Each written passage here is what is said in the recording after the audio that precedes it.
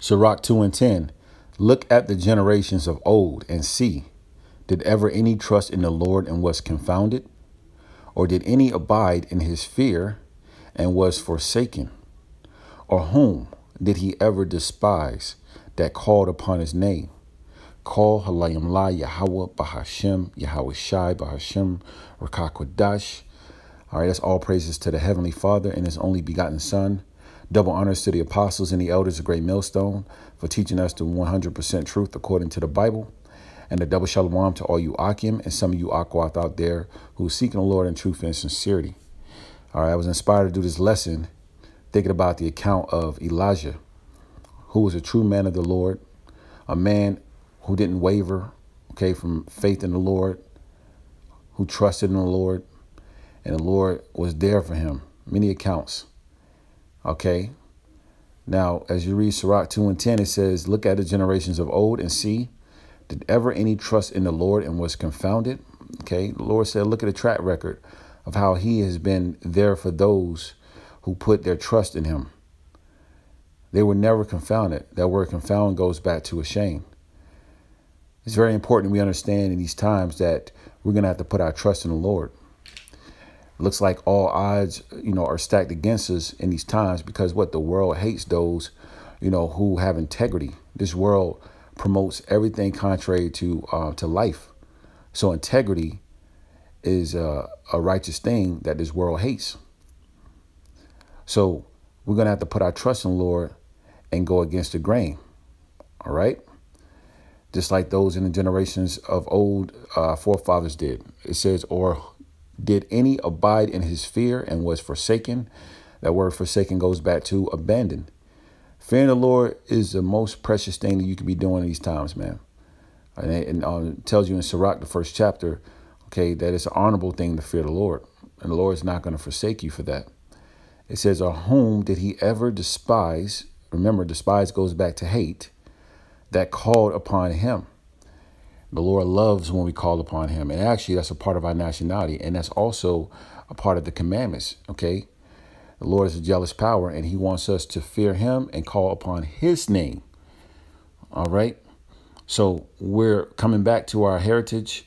Calling on Yahweh Bashim Yahweh Shai. It's important that we trust in him and fear him as well. Okay, if you want to be saved and hid in these times. Now I want to bring out uh, Romans 11, verse 1, it says, I say then, hath the Most High cast away his people? The Most High forbid. For I am also an Israelite of the seed of Abraham. This is Apostle Paul speaking to the Israelites in Rome. Okay. It says, of the seed of Abraham, of the tribe of Benjamin. Remember, Abraham is a forefather who trusted in the Lord and was not uh, confounded. Okay our forefather. Remember, Apostle Paul is referring back to our forefather, Abraham. Okay, it says, of the tribe of Benjamin, telling you specifically what tribe he comes from. Okay, verse 2 The Most High have not cast away his people, the Israelites, the so called Negroes, Latinos, Native Americans, still here today. It says, which he foreknew. Wot ye not what the scripture saith of Eli Elias, how he maketh intercession to the Most High, Yahweh, against Israel, saying, verse 3 Lord, they have killed thy prophets and dig down thine altars, and I am left alone, and they seek my life. All right, remember the story of uh, Elijah, okay? When, you know, our people killed the prophets. Our people have been wicked for many years, man. For a long time, two thirds have always hated the prophets. Okay. So, yeah, you know, Elijah at the time was in dire straits, man. Was was on a run. Then you had uh, Jezebel, that wicked demon, all right, who was seeking the Lord, uh, uh, like is seeking Elijah's life as well. It says, uh, and I am left alone and they seek my life. So Elijah thought he was alone. You know, all the prophets that he knew died. Verse 4, they were killed. It says, But what said the answer of the Most High Yahweh unto him?